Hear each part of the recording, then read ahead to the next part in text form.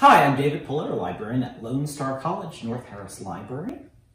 Today for Tabletop Thursday, I'm going to give you a few tips to help you more efficiently assemble a jigsaw puzzle.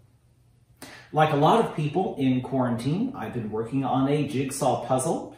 I'm currently working on a thousand piece jigsaw puzzle that shows an image from the anime movie Your Name.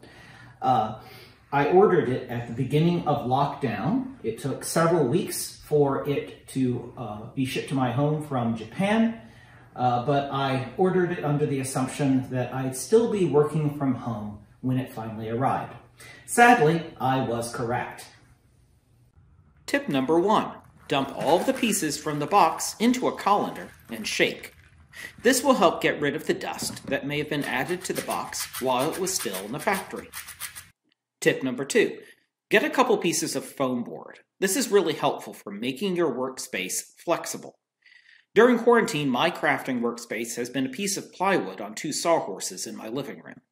If I have 10 minutes to spare, I can quickly make a bit of progress on whatever project I'm working on. Whatever your workspace is, you can get a piece of foam board from a crafting store. Make sure that it is bigger than the size of your completed puzzle. You may wish to get two pieces if you're going to frame your puzzle, but we'll get into framing later.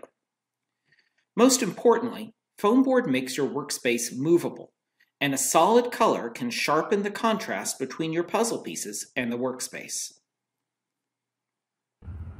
Tip number three, sort your puzzle pieces into major categories.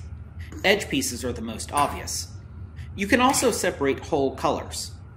In my example, I can create piles for white, red, pink, purple, and black, as these are the major colors of my puzzle. You can also create piles for distinct features of your image. In my example, the faces, the red ribbon in the girl's hair, the boy's green tie, and the written text are obvious when separating pieces. Areas where there is a sharp contrast between colors, such as the dividing line between the girl's skirt and the background, are easy to spot on individual puzzle pieces. Separate all of these. Now place these categories into plastic containers or labeled zipper baggies. Tip number four. Feeling stuck at some point? Turn your puzzle upside down. Look at the image from a different point of view. This can trigger your pattern recognition skills because it helps your mind think of the items in your puzzle as images rather than real objects. Tip number five. If you're feeling stuck, sort through your puzzle pieces again. You may have misidentified pieces and placed them in the wrong categories. Those are my five tips. Now let's talk a little about framing. Some people like to simply put away a puzzle once they're done. That's not me. If I have labored through a puzzle, I'm going to frame it and put it on my wall. There are frames made specifically for jigsaw puzzles. One type has an open front. If you want to use it and not have your puzzle fall apart immediately, you'll need to glue it together. There are crafting glues made specifically for this task. There are also sticky sheets that you can apply to the back of your completed jigsaw puzzle that will hold it firmly in place. These solutions require destroying your jigsaw puzzle. Once you glue a puzzle, you can never disassemble and reassemble it again.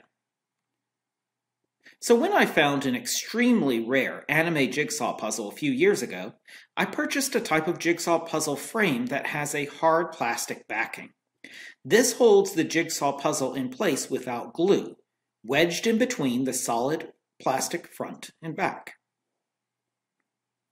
If you're going to frame your jigsaw puzzle, buy the frame after you have completed it. The final size may be different from what the box says. Have fun with your puzzles. If you make one, be sure to tell us about it. We'd love to see and share your work.